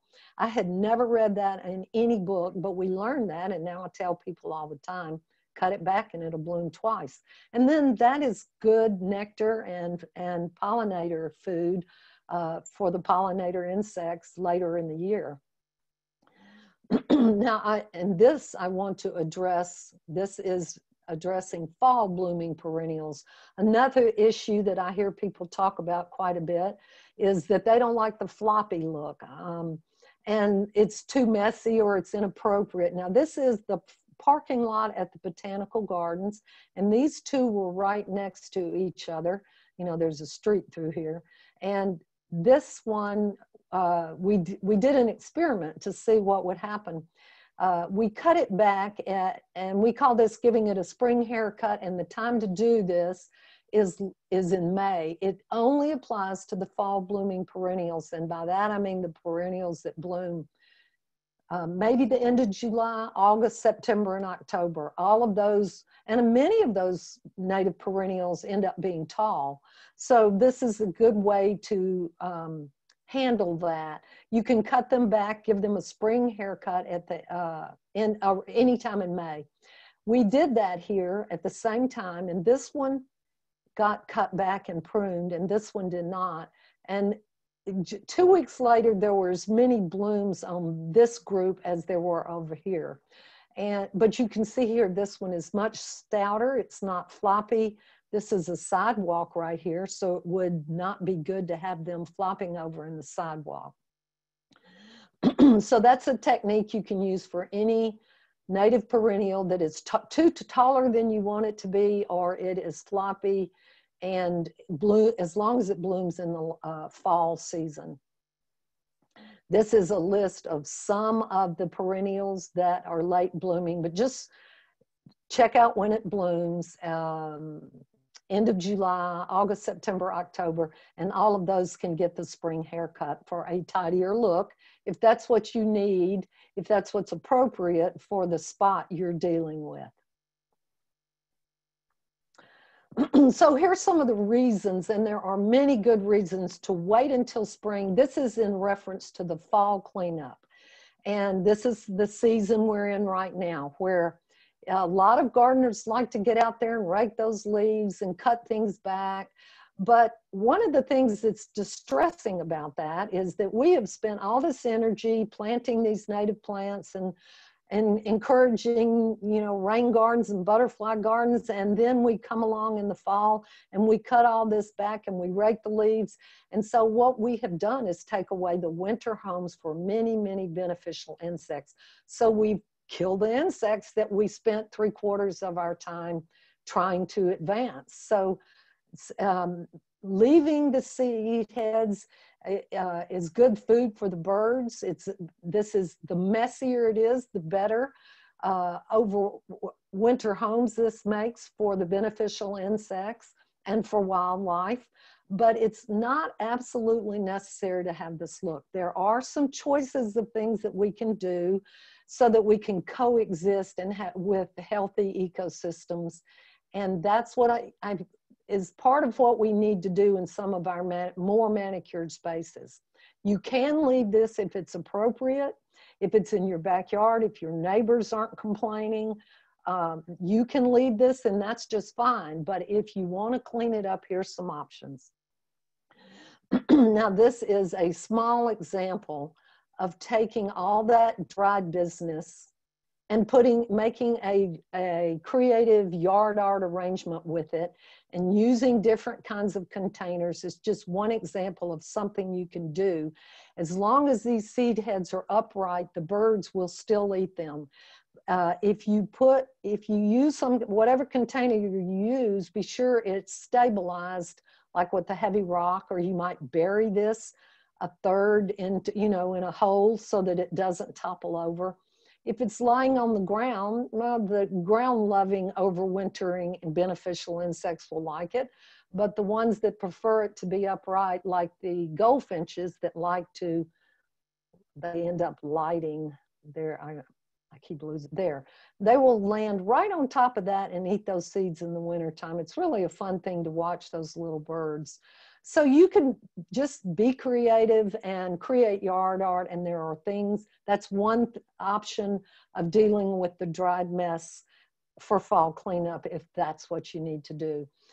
one of the things I need to point out for the fall cleanup, now this doesn't apply when you are cutting the spring bloomers down. You cut those down to the basal root, uh, leaves. But if you are doing fall cleanup, don't cut your stems down on any of your plants um, lower than about 18 inches. So most of you know who Doug Tallamy is. He's kind of like the, the uh, guru of native plants in the southeast part of our country. Uh, he's done research that shows that the overwintering habit of the insects that do overwinter in the hollow stems they do that from 18 inches down. So if you leave your sticks that you cut back to eight, 12 to 18 inches, then you are not just, you are still allowing for winter homes. I thought this was just pretty cute. It, you can also have it messy, but I advise that you put this in the back corner somewhere out of sight. Again, the messier you leave it, the better. And having a rotten log in every yard is a good thing for beneficial insects too, particularly beetles. There are all kinds of creatures that get through the winter if you have messes, if you have leaves, and if you have a rotten log. So just knowing how they overwinter and, and think about how can I clean up a little bit and coexist with the creatures that I love and I'm trying to advance their numbers, increase their numbers, that will uh, help these insects. And it's uh, the compromise we need to come up with. So the Xerces Society, if you haven't heard of that, um, it'll be on my resource page. it's a great, um, uh, a great thing to look at. They have lots of good information. But they are doing a campaign called Leave the Leaves because it, and and they have all these different folders and flyers that let people know that a luna moth cannot get through the winter. It, it overwinters as a cocoon in fallen leaves. So we need to abandon the practice of burning our leaves and chewing up leaves. When you do that, you are chewing up the creatures that overwinter in those fallen leaves. You can rake the leaves and use them for mulch in your flower beds. You can pile them up in a corner. You can bag them shortly. Don't keep them in a hot black plastic bag in the sunshine because you will solarize every insect in that bag. But you can put them in the brown paper bags that the city provides and give them to your neighbors to use for mulch. Try to use as many of the leaves as you can if you are going to do the fall cleanup. That's the point of what I'm saying. so to summarize maintenance, uh, just keep in mind that flowering trees and shrub are, are, less maintenance than the pollinator beds or the uh, or the butterfly gardens. All those things are necessary, and we're glad if you have the time and energy to pull weeds and keep them attractive. But one of the things that I think we need to think about as we are planting these spaces in our yards is that we want to influence our neighbors in a positive way. And if there is too much mess, I can't tell you how many people come up talk to me about how they just don't think they can live with all those messy native plants in their yard. And I'm here to say they don't have to be messy. There are techniques and things we can do to have attractive native plants in our yards. So now I want to speak specifically to the growers uh, that are listening, that are part of the High Tunnel program. Uh, the instead of just having fun and i mean if you can afford to do that have fun and learn all that you need to about growing things but i highly encourage you to know where you're going to be selling your plants um, are you going to grow these plants and then sell them at a farmer's market? Uh, are you going to try to sell them to some of the landscape companies landscape contractors directly? Uh, are you are you doing it for a native plant sale? Know who your market is and then if it's a restoration project then you're probably going to lean toward growing prairie plants. So that's what i mean by knowing who your market is now i oh here i wanted to um, this was what i was shaking my head about. Uh, these are i we encourage people to get their seeds or their plants as close to home as possible. And I won't go in, I'm not good at explaining science at all, but it, it's important to get what we call local ecotype seeds and plants. In other words, plants that have co-evolved in our area and they are already adjusted to our area. So get plants and seeds as close to home as possible. And here are some actual sources for seeds. I think Nate mentioned these, the Hamilton Outpost uh, Missouri Wildflowers Nursery, they actually come uh, south to Arkansas, to Northwest Arkansas, to collect a lot of their wildflower seeds. So a lot of their seeds are uh, local. And what's exciting about the High Tunnel program is that we hope to get more and more people raising native plants in the area so we can collect our seeds more locally. And we're not quite there yet. The demand, there's a much bigger demand for native plants and native seeds than we have a supply for. But just get your plants and your seeds as close to home as possible. This is the project that many of you know, Jennifer Ogles. She is um, one of the primary people in our area that is working on native seed projects. And this will be where she will be, uh, her seeds that she is actively collecting this fall. And she told me a, a couple of days ago when I texted her that Roundstone Native Seed will be where they will be selling through that company. So that is, um, you know, next year. That's exciting that we, and hopefully more and more we have uh, sources of plant material. Now, if you are one of the high tunnel people listening and you are going to have something to sell yet next year or whenever, please get in touch with me and let me know what you're up to and what you're doing because as I give these talks to people, I want to know if there are more people selling plants in the area. Let, let me know how you're doing it, where you'll be doing it, and when you'll be doing that that and then i can i can put your name out there. So that is part of what we are excited about. All of these on this side will be selling plants. Um, and of course most of you that are listening probably already know about the northwest arkansas master naturalist group.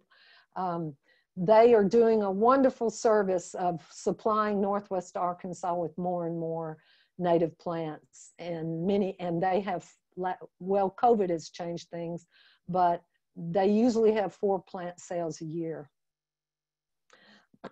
So oh all right so i'm at my what i call my wish list now i'm going to go through this pretty quick because i can see that i've used up most of my time But if anybody is interested in getting uh, my longer wish list, uh, please email me and ask for it.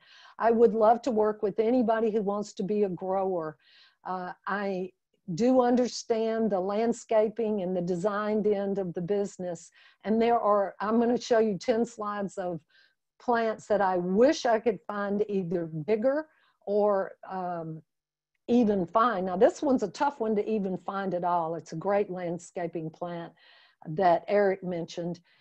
It, and uh, you can, I think the master naturalists grew it, but almost everything that's a perennial from them, and this is kind of a woody perennial, it, um, it, it's only, you can only purchase it in a very small size landscape contractors and people who are buying native plants and designing with them, many of them would love to have three gallon plants. So if you have a setup where you can grow your plants longer into at least a two gallon plant, you can sell them for more money, of course. So I'm willing to correspond with anybody who wants to um, talk about that, but I'll move along on my wish list.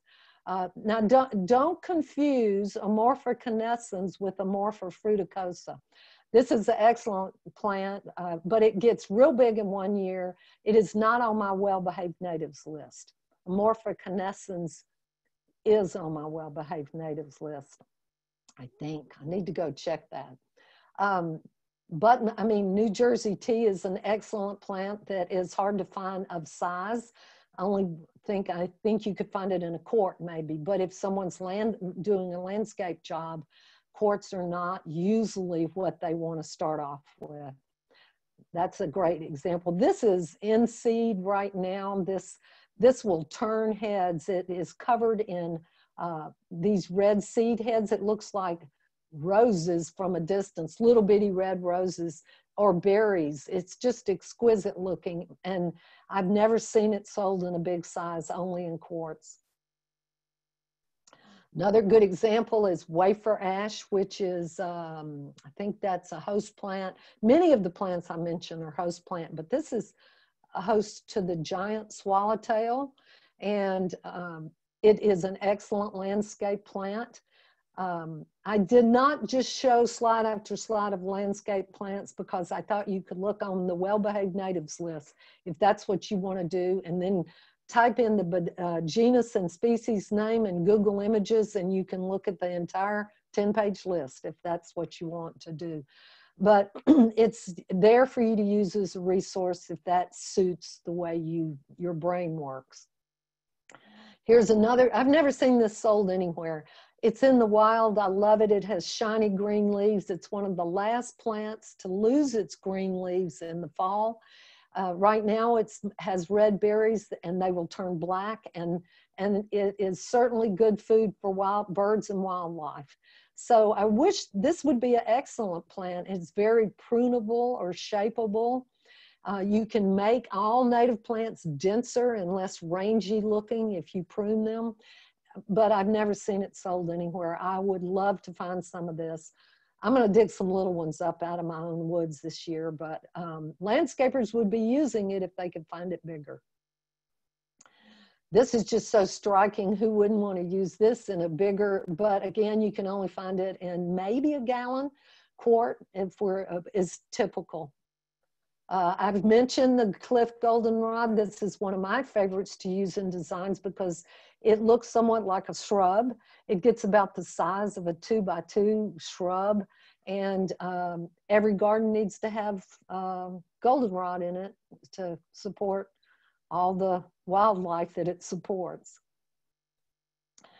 this is I've I showed you this one already. I love this one. Uh, now last year, this early spring, or was it last year? I don't remember. I think it was early spring. White River Nursery had this one in two gallon plants, and and I they had either um, you know 30 to 50 of these, and they did not last long. They sold out very quickly.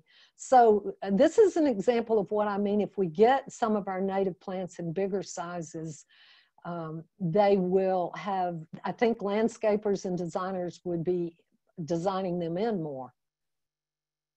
This is just a tough, excellent plant. And um, looking at this slide reminds me this is one thing that I want to mention that when you read the, uh, when you look these plants up and you're trying to find information about how big they grow and whether or not they need sunshine or whatever, um, the books will tell you this one is um, three to four feet.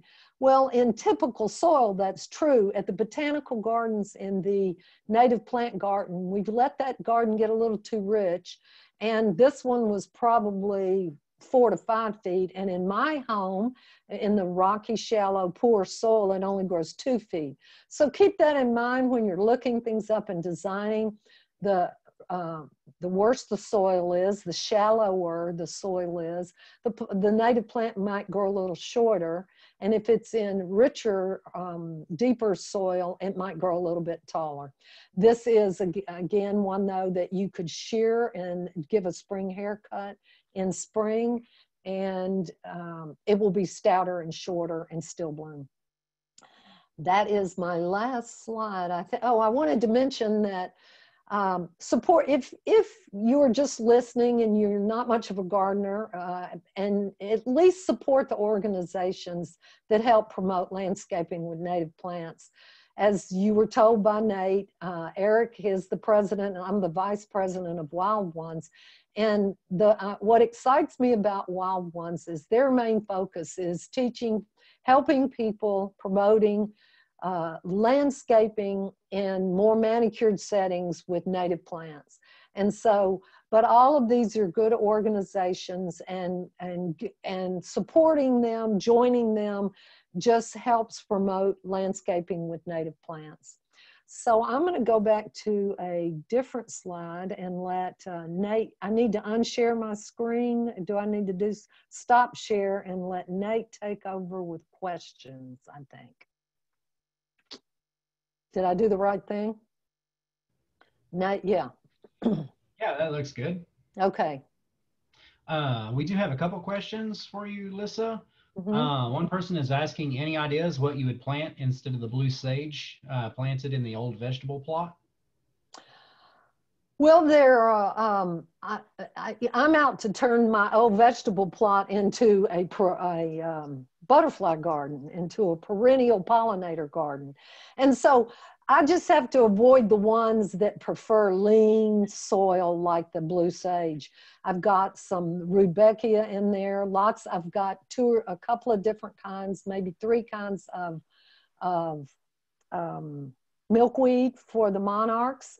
I've got some, so there are lots and lots of choices, but if you read in, when you're looking things up that it prefers lean soil, then you don't want to plant it in a rich soil. There are tons of pollinator plants and pollinator garden list and um, possibly looking more on the web. I'm trying to think of some other things. I, oh, I do have some, I'm trying the Monarda, the bee balm, Bradburiana, because I have read that it is the least aggressive of all the bee balms. And I don't want to have anything that takes over my garden. Um, so you just have to keep that in mind. If you were the kind of gardener that is not going to get out there and thin things down or, or cut things in half or weed, then you need to really ab- avoid the aggressive plants. I've got a, a button bush in my butterfly garden let's see, I've got some, uh, what else do I have in there that's working well? Oh, I'm, I'm, yeah, I'm, my brain's too tired to answer more. what else? and uh, Phyllis is asking, how far down did you cut the Indian pink? Well, I, because that when you are do, cutting a plant that has done its spring bloom or real early summer, you cut it down to the basal leaves, which usually is about three or four inches, uh, just to the leaves that grow along the ground. You don't want to have nothing green there. I mean, there are some natives you could cut it to the ground and it wouldn't matter. That is the case with um, the asters, from what I have experienced. We in uh, we got a disease on one of our asters at the botanical gardens and we literally cut it to the ground to get rid of the disease And that year was the prettiest asters we had in the fall. They were the size and they, people thought they were purple mums. They were so tight and, and they were only about 18 inches, which was unusual for an aster. So I don't recommend cutting your perennials to the ground, literally. Uh, I say three or four inches at the lowest. It, that's a general rule. okay, and uh, looks like we have one one last question, and then Carrie's going to make an announcement. Um, Ellis is asking, should you cut back milkweed? And uh, I would I would be curious to know when when you would recommend that. Well, there are two answers to that. It depends on if you're after the seeds and then no, if you if you're wanting to harvest the milkweed seed, then don't cut it back. What we did learn at the botanical gardens, however, is that so milkweed, leave it alone. It blooms in the late spring or early summer. And then after it blooms, it gets brown and ratty looking and it gets tough. The, the leaves get tough. So, and the monarchs are moving further north. They've traveled already further north. So it, but when they because we were a public garden and there were some places where we did not want that brown fried looking perennial right there we went ahead and cut the some of them we left about half of them let half of them go to seed and half of them we cut back to about the basal leaves about three inches. And what we what happened was that they came back with new fresh tender foliage. And when the monarchs began to travel south again in the late summer and fall, that was their first plant they wanted to go to and lay eggs on. They do lay a egg at the, at the as they're traveling. It's a very unusual thing, but that was where they wanted to go first because the monarchs prefer tender foliage. So the ones that were around to lay the eggs went for the tender foliage, and that's what we created by cutting the the milkweed back. So it depends on whether or not, if you want to collect the seed heads, don't cut it back. If you want to give the monarch some new, fresh, tender growth to eat on, and it actually gave it a, it was more food for them to eat as they were um, migrating south. So it was, we decided it was a good thing to do, and we had enough Orange milkweed is the one I'm talking about now. There are so many different kinds of milkweed. I, is that what the um, person meant? Orange milkweed? The, I think it was um, just milkweed in general. And well, uh, what, it, time, what time did you cut it back? Right after it got ugly blooms. After the blooms were ugly, we and it looked fried, we cut it back. All right, that's great information. Um, in the chat window, uh, our outreach coordinator Carrie posted um, a comment about our YouTube channel. Um, like I said, for everyone who's registering and uh, watching this on Zoom right now, uh, this is going to be available uh, up until the time it's it's uploaded to YouTube, which would be sometime next week. Um, you can view this online at that point on uh, youtube.com uh, slash user slash beaver watershed. And uh, we would look forward to, to you seeing it on there. Um, wow, that was some fantastic information today. I, I learned quite a bit myself. Um, thank you very much, Eric and Lissa. Those were both fantastic presentations. And uh, thank you. Yeah, thank I'm you, Nate. Yeah. And uh, thank you, Carrie, for helping coordinate this. And uh, certainly thanks for everyone who, who attended and, and watched this uh, here in Zoom and, and uh, on Facebook. This is this is our new reality now, dealing with uh, virtual webinars and virtual workshops. we thank y'all for bearing with us there. Um, uh, and uh, I would like to uh, just let anyone know who lives in the Beaver watershed.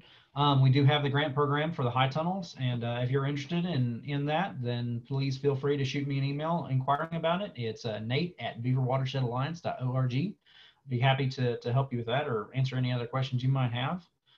Um, uh, if anyone's got any final questions, uh, I don't see any. All right.